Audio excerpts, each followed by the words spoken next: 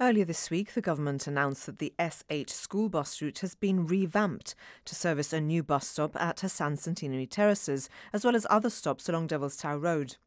The change means that more children in the area will be able to use a school bus, and this will also allow more space for commuters on regular route buses.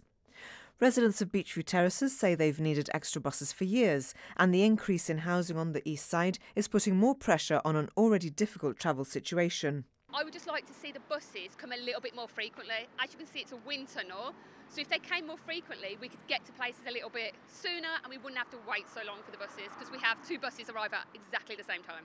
Do you think that there are certain times of the day when perhaps an extra bus or two could be put on and that would help the residents in the area? In the morning, that would be great. Um, obviously, with school, children, when it's walking and it's raining, it's horrible. And if we can't get on the buses because they're full, then obviously we're just stuck and we have to walk our kids up in the rain.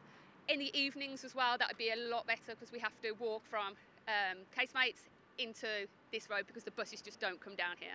But we're also going to have the issue now. Now we've got Hassan's.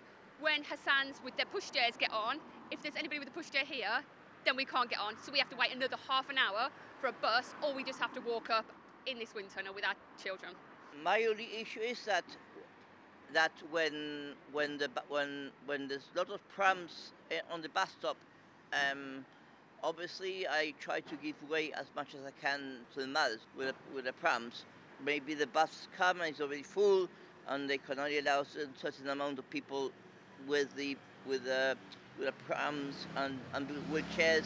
So At the moment, there's there's not enough buses, number eights and number fours, coming to the the east side uh, so, and, and, the more, and, the, and if they're planning on building more buildings around Devil's Road, then we'll need more buses and, and more frequently. I see a lot longer time um, bus school service, but they, they, never, they never stop here at, at Terraces. Most of the time they come all the way from Catalan Bay all the way to here or, and past, and it's empty. When you got kids here, um, going to school as well, and and instead of um, the kids boarding the, the, the normal buses for commuters, they should board, they should be boarding the, the school bus, and it's not, and that's not happening at, at, at this precise moment. In answer to GBC questions about adding a further bus route in the area, the government said all options are being reviewed and that is one of the possibilities being considered.